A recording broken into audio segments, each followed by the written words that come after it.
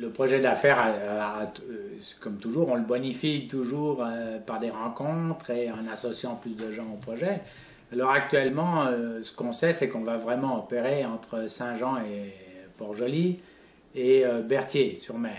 Alors ça, ça va être notre zone de travail avec les différents ports qu'il qui y a là, c'est-à-dire Saint-Jean, Lillet, euh, Montmagny, euh, l'île aux Grues et Berthier.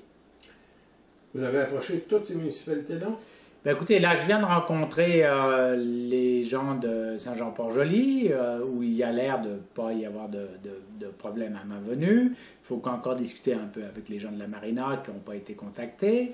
Il me reste aussi, j'ai vu le, le, maire de Lillette, qui a été très réceptif aussi à la venue d'un voilier euh, historique euh, dans sa municipalité. Il me reste à voir aussi les gens de l'île aux Grues, mais à l'île aux Grues, on a fait un développement pour avoir un, très beau concept. Alors, euh, ça c'est intéressant parce que nous allons pouvoir marier le train, le bateau à voile historique et l'avion. Alors, je pense que ça va être un très beau, un très beau trip à l'île aux Grues. Euh, mon mani, ben, j'attends toujours une réponse euh, donc, euh, de la municipalité. Je les ai rencontrés, ça doit faire 15 jours, 3 semaines. maintenant, je, bon, ils devaient rendre une décision. J'attends. Et pour ce qui est de Berthier-sur-Mer, ben, écoutez, je leur ai demandé des droits de caillage, si je pouvais venir avec le bateau. Actuellement, je n'ai pas de réponse à ma demande. Donc, je dirais que je peux aller de l'avant vraiment avec la municipalité de Saint-Jean, avec Lillet et avec, euh, je pense que l'île aux Grues aussi, parce que c'est un quai euh, public. alors je vous parle de trois municipalités principalement en ce moment qui ont des infrastructures installées, c'est-à-dire Saint-Jean-Port-Joli, où alors effectivement du côté ouest du quai ça va être très facile, à l'entrée de la marina, ça va être un petit peu plus difficile, donc il faut que je prenne des ententes avec la marina, mais je n'y serai que par mauvais temps.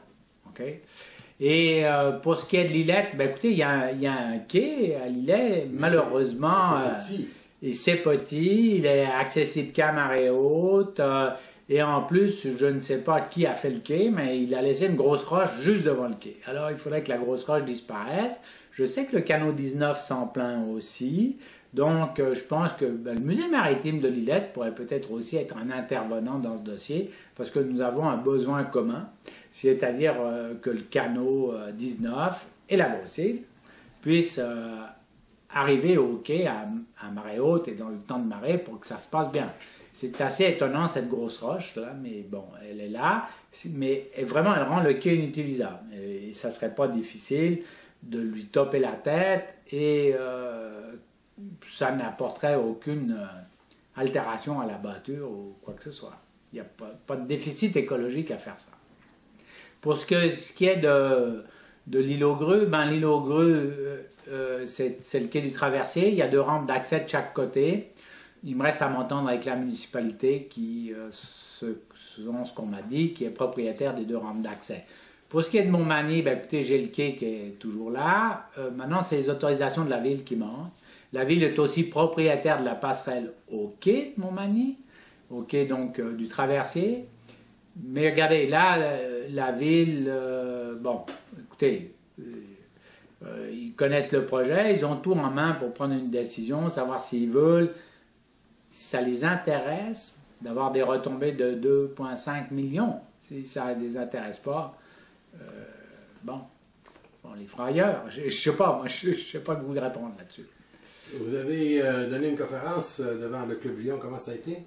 Alors, j'ai eu un très bel accueil, euh, des gens extrêmement intéressés, sensibles. Euh, le Club Lyon, euh, donc, c'est une association de commerçants. Donc, ben, ils ont posé des belles questions judicieuses. C'était bien. C'était une très belle soirée et je pense que les gens étaient très intéressés. Forcément, je pense que ce pas tous les jours que dans les municipalités, il y a un projet qui vient avec une retombée de 2,5 millions par année. Euh, à Montmagny, c'est 11 000 habitants, c'est 200 dollars par habitant. Je pense que, je ne sais pas s'ils ont des milliers de projets comme ça par année, je ne sais pas.